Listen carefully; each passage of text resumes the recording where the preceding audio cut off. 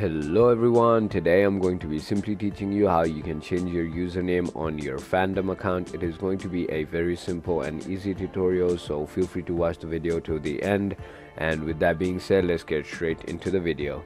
So first of all go to any browser you want and go to www.fandom.com once you have done that i hope you have signed in into your account. If you don't know how to sign up or sign in into your um, account i have made a video on both of those topics. So um, feel free to watch those and then come back to this one.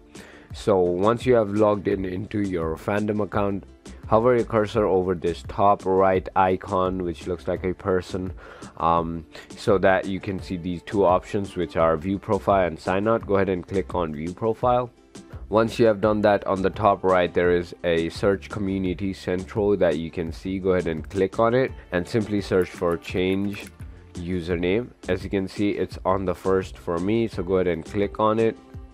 Finally once you have done that it will basically teach you how you can change your username.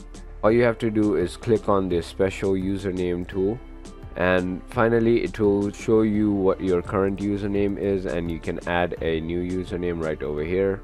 And then you can re-repeat your new username. And then enter your password down here. And finally click on I understand the consequences of renaming described above. And then finally just click on change username once you have done that um, it will ask you to confirm that you're really going to uh, rename your username. So yes click on yes rename the user.